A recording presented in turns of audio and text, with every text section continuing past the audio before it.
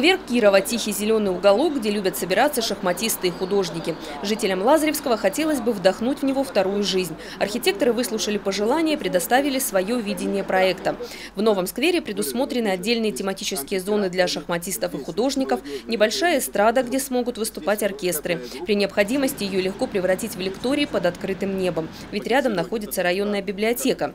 Никаких торговых объектов, только скульптуры, лавочки и детская игровая зона. В целом предложения, которые подготовлены сегодня администрацией, архитектурой, они э, очень интересны, очень современны и находят свою поддержку вот у населения, потому что никто не высказал, что против, здесь это не надо. Еще один сквер, который предложено реконструировать, это сквер Адоевского. Отсюда, собственно, начался сам поселок Лазаревское.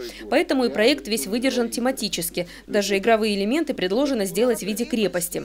Кстати, с обустройством детской площадки вызвались помочь жители соседних домов. Выездные общественные слушания провели не только в уже существующих скверах. Как пример, пустырь на улице Тормахова. Рядом многоэтажный комплекс. Предлагается разбить тут сквер с молодежной тематикой, с велодорожками, спортивными площадками и озеленением. Четвертый предложенный проект – 800-метровая набережная вдоль реки Псизуапсе. На набережной будут сделаны значит, автостоянки, э, основной э, пешеходный маршрут будет представлять собой значит, дендропарк с кодом Лазаревской, где будет сосредоточена в каждом квадрате природа Лазаревской. Это сад камней, значит, э, э, деревянные скульптуры, значит, инсталляции деревянные – Четыре проекта готовы, но это не значит, что все в этом году будут реализованы. Выбрать два наиболее нужных району варианта должны сами жители. Для этого во время выборов президента всем пришедшим на участки выдадут еще и бюллетень от программы «Комфортная среда». 18 марта э, будет определение все-таки за, за какую из территорий предложенных люди проголосуют. То есть самая главная интрига, да, из-за чего сейчас это происходит.